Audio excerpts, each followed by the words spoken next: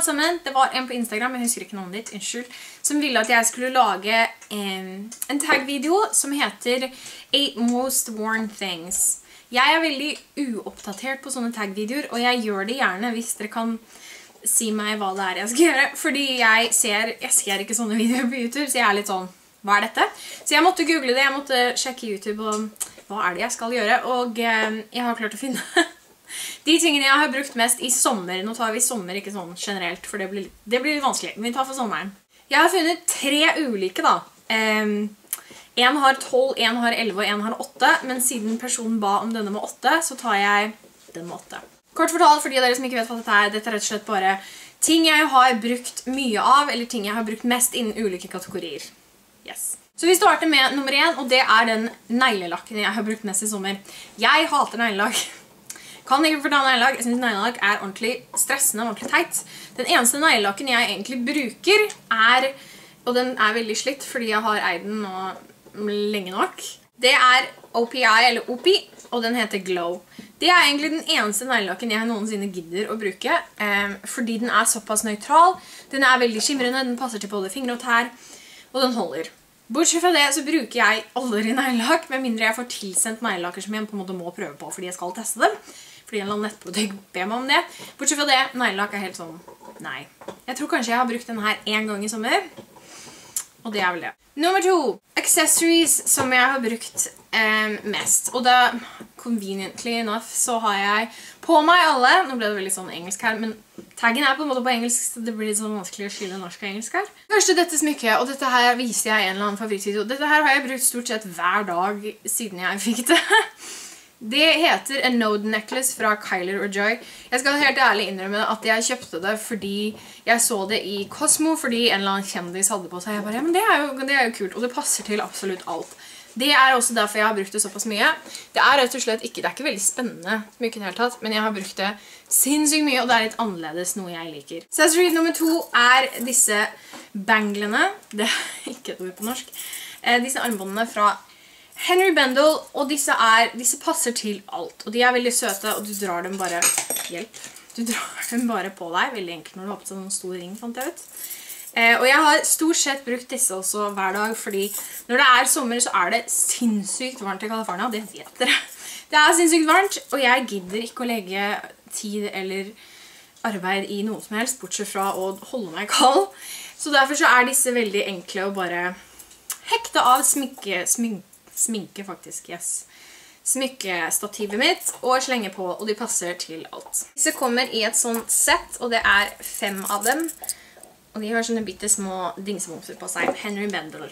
Siste accessory, nå tar jeg med de her, for de ringler veldig. Siste accessory som jeg har brukt sinnssykt mye i sommer, som jeg generelt bruker veldig mye, er denne ringen fra, det uttaler jeg helt sikkert feil, Robert, Roberto Cavalli. Noe sånt. Eh, og den ser sånn ut. Det er rett og slett en jeg tror denne steinen heter Kattøye. Tror det. Og det er en sånn slangedings. Og den er stor, og den passer til absolutt alt. Og igjen, sommer, varmt. Øh. Jeg bare tar, drar, drar, den på meg. Uansett hva jeg har på meg. Eh, dere har sikkert sett den her i diverse videoer jeg har. Og den er fin, og den er stor. Og den gjør litt ut av seg uten at det egentlig krever noe arbeid. Du bare tar den på deg. Så bam, ding. Nummer tre, klesplagg som jeg har brukt eh, mest. Den var tricky for meg. Jeg sto inn i skapet mitt og bare Ok, fordi jeg har, fant jeg ut da, sinnssykt mye klær. Så jeg bruker, ikke, jeg bruker ikke ting om og om igjen. Men det er to ting som jeg har brukt relativt mye i hvert fall. Det første er en type jumpsuit, og denne her har jeg hatt et par år. Jeg kjøpte den før jeg flyttet til USA. Det er en sånn, dere vet hva jumpsuit her, ikke sant? Ja. Eh, og denne her kjøpte jeg fra en nettside som heter Ideally, jeg, eller Adeli, eller hvordan det uttales. Eh, den er fra et merke som heter Heartloom. Har ikke hørt om det, vet ikke hva det er. Men dette er som sagt en jumpsuit, og den er så utrolig, utrolig lett. Eh, heldigvis er den ikke gjennomsiktig. Yay. Eh, men stoffet er så utrolig lett og luftig, og igjen, det trengs når det er sommer her. Plagg nummer to, som jeg i hvert fall har brukt mer enn to ganger, for igjen, jeg har ikke brukt, jeg fant ut at jeg har ikke brukt ting så veldig ofte, for jeg liker å kjøpe nye ting, er denne skjorten som er fra Free People. Og det er rett og slett bare en polkadot skjorte. Um, jeg elsker merket Free People. De har god kvalitet, og de har utrolig mye fint. Den er gjennomsiktig. Ja, den er ikke så gjennomsiktig at du ikke kan bruke den. I hvert fall ikke når du er så gammel som meg. Eh, men den passer til stort sett alt, og fordi den er såpass lett og luftig og gjennomsiktig, så kan den brukes som sommeren også. Hurra. Nummer fire, leppeprodukt som jeg har brukt mest i sommer. Jeg bruker jeg har veldig mange leppeprodukter. I veska mi så ligger det på en måte en 5-6 til enhver tid. Men det er to jeg har brukt mye. Den første er en lipgloss fra Estée Lauder som kommer i fargen 323 Star Pink. Eh, den synes ikke noe særlig godt. Det er egentlig bare en... Hvordan skal jeg forklare den? Den gir ikke så mye farge. Jeg kan prøve å vise dere. Det kommer helt sikkert ikke til å synes. Uh, nei, synes ikke det var helt tatt faktisk. Men den er, den er veldig, veldig skimrende. Det vil da si at den går til alt. I tillegg så gjør den litt ut av seg fordi den virkelig sparkles, virkelig glittrer på leppene, så det er ikke sånn at den blir helt usynlig, selv om den i tuben ser ut som den ikke gjør noen ting. Og en annen lipgloss fra Estée Lauder jeg er veldig glad i. Lipglosser fra Estée Lauder, åpenbart. Dette er 349 Golden Nude. Og dette er, den har jeg laget innlegg om. Link til der nede, hvis du vil se hvordan den ser ut på.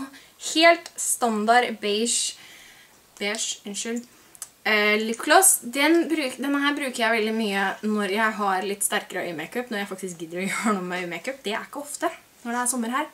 Men hvis vi skal ha noe spesielt, så går jeg alltid for den her, fordi den er veldig enkel å påføre. Du trenger ikke speil eller noen ting.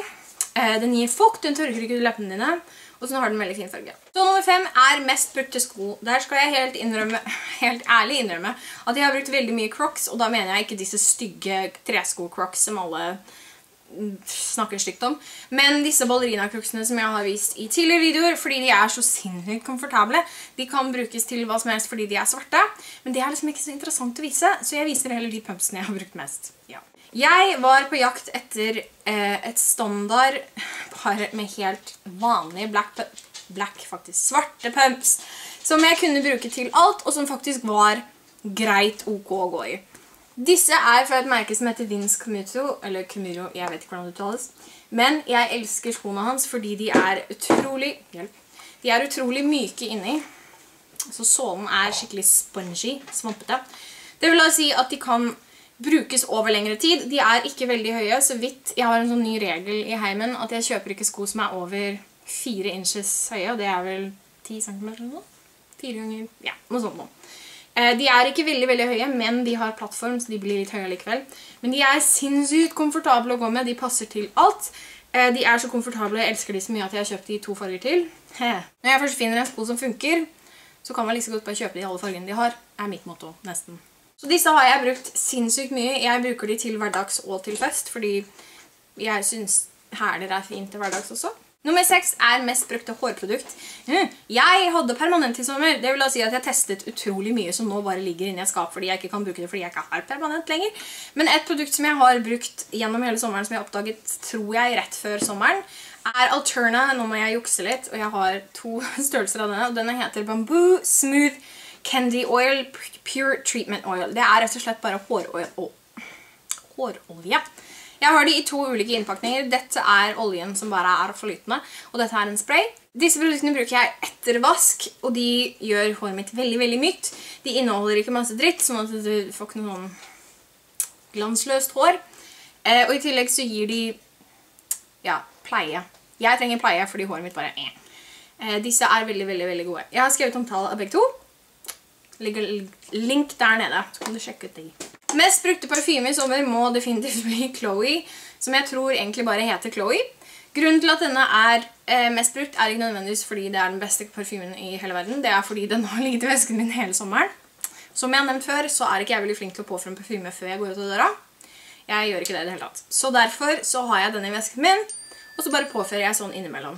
Denne lukter veldig friskt, veldig sommerlig, veldig blomstrete og passer veldig bra til sommer, og på meg så lukter den forhåpentligvis godt. Og siste er væske, som jeg har brukt mest. Nå tar jeg ikke hverdagsvæsken min, for det er litt sånn litt kjedelig. Jeg bytter ikke væske. Jo, jeg bytter væske til sesong til sesong, men det er ikke sånn at jeg Væskene er ikke drast, det er ikke sånn at jeg bruker fargerike væsker til sommer og så helt plain væsker til høst.